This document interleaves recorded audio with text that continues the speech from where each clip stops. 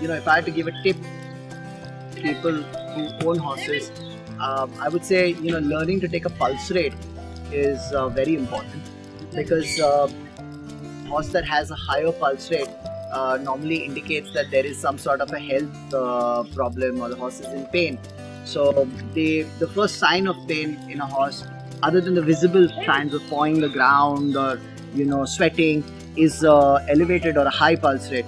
So uh, the normal pulse rate for a horse can be anywhere from um, 36 to 44, but um, some horses tend to go slightly lower. Normally higher than 44 would indicate a problem. How do you take a pulse rate? One option, of course, is uh, you can use a stethoscope and uh, check the temperature. Just uh, check the pulse rate just behind the horse's. This is the horse's elbow. You normally take about three fingers, and if you put the stethoscope over here, you'll be able to see the uh, hear the horse's pulse rate. But uh, many a times uh, you don't have a stethoscope handy. So what do you do? So if you look at the horse's jaw, there is the uh, there is an artery. And what you do is you need three fingers, and you put three fingers over here, and you if you concentrate, you'll feel an artery slide under a, vein or I mean like you know a, a blood vessel slide under your fingers. And what you do is you can hold it in your fingers gently and squeeze it, and you look at your watch, and you take a 30 second pulse rate, and I can feel a pulse rate on him.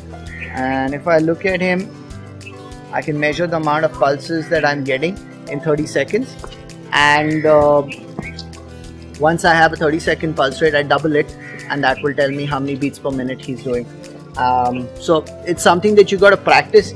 It takes a little bit of getting used to but uh, if you do it every now and then whenever you have a little bit of time uh, you learn to take a pulse rate of a horse really quick.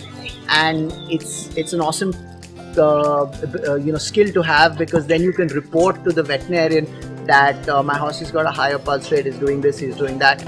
And it just makes it so much better for the vet to be able to understand and anticipate what kind of a problem there might be